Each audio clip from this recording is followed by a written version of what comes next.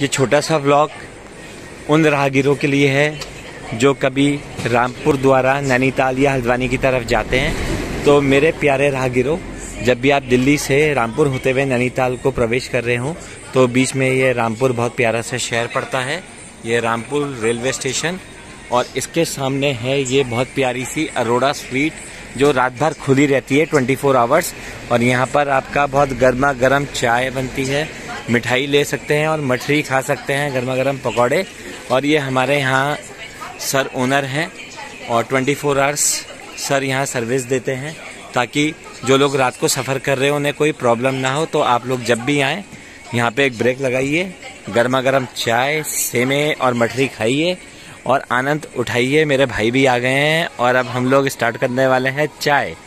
तो आप लोग भी बने रहिए और आते रहिए। रामपुर शहर के उल्टे हाथ पे ये प्यारा सा आउटलेट आपको पड़ेगा अरोड़ा स्वीट्स बहुत पुराना। और भैया हमारे, देखिए, कितने प्यारे हैं, रात को टीवी देखते हैं, लेकिन नींद नहीं आती है इन्हें।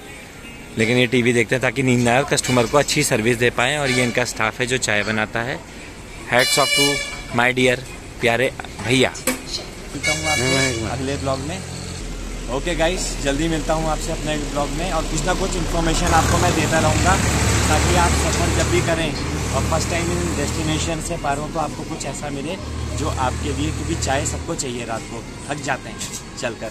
तो हम कुछ ना कुछ आपको अच्छी इन्फॉर्मेशन देंगे और आपके काम आएगी।